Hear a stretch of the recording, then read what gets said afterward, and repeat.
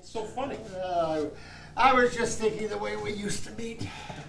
Climbing over the wall. Uh, secret meetings. Just to play a little game of cards. How's your son? Not a word. Yeah, don't worry, he'll come home as soon as he runs out of your money. Thank you. A- and your daughter. Like a statue. Does nothing but stand in the garden all day. Pity. How is your garden? Growing. You don't mind too? It's so dependable. Gardens go on growing. Yes, indeed they do. I tell you, I love vegetables. Oh, it's true. I love them too. Plant a radish, get a radish, never any doubt. That's why I love vegetables, you know what you're about.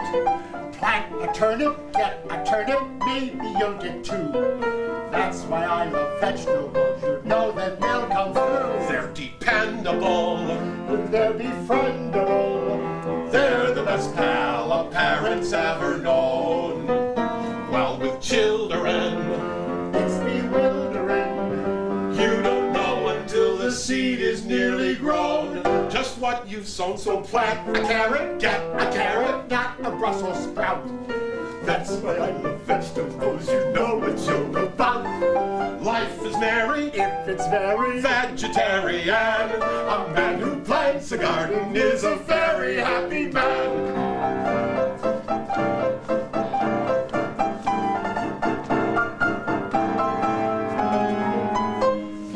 I've I, a beanstalk, then a beanstalk just the same as Jack.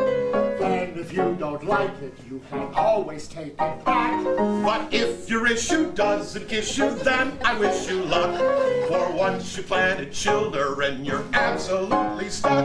Every turnip green, every kidney bean, every plant grows according to the plot. Wow, with progeny.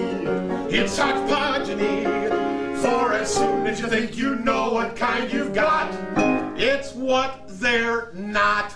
So plant A cabbage, get a cabbage, not a sauerkraut. That's why I love vegetables, you know what you're about. Life is merry if it's merry.